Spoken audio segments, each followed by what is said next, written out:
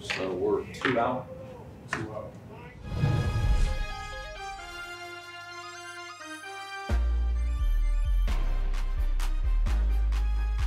You know, we we committed to this, or we're waiting for them to get on the clock. Pittsburgh has submitted its pick. New England is now on the clock. KC's ready to go if we New England has traded its pick. Kansas City is now on the clock.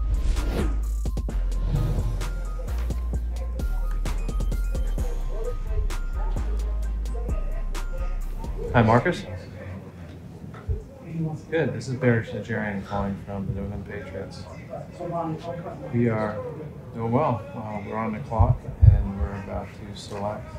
And um, I'm going to put Coach Belichick on the phone to let you know what we're going to do. So hang on one sec. All right. Oh, hey, Morris, how you doing?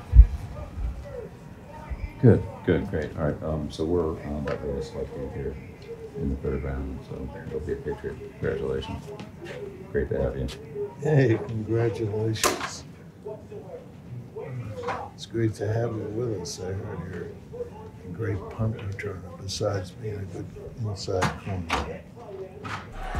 With the 85th pick in the 2022 NFL Draft, the New England Patriots select Marcus Jones, defensive back, Houston.